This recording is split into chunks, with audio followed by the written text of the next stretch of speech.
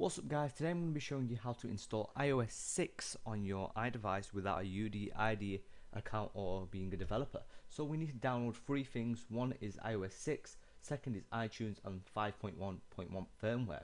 After we've downloaded them, we can start and the iOS 6 is compatible with the iPhone 3GS, the iPhone 4, the iPhone 4S, the iPod Touch 4th generation, iPad 2 and also the new iPad. So let's go ahead and jump on into the process.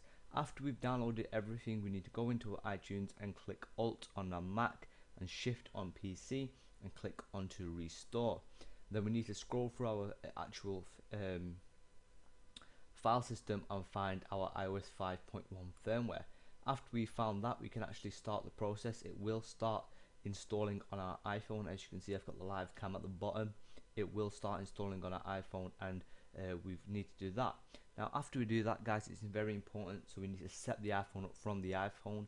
We need to go through all the Apple setup and set up the iPhone and make sure it's set up like that and then that is about it for then and I'll be back when that's updated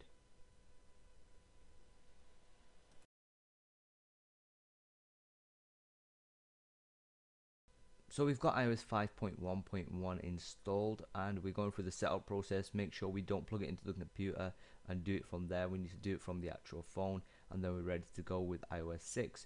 We need to go over to iTunes again and go ahead and click Alt on Mac and Shift on PC and click check for updates and we need to go ahead and find the iOS 6 firmware we've downloaded. After we've downloaded that, uh, after we've installed that, sorry, we'll, as you can see it will be verifying the update with our phone and it will be updating our iPhone. So guys as you can see it will take quite a while on the updating bit and the verification bit but other than that it will get done quite nicely. Um, tell me what you think about iOS 6 in the comment section. Check out my previous video links will be in the description and also in the end of the video and as you can see right now we can see when we log onto the phone we can see that we get some changes already.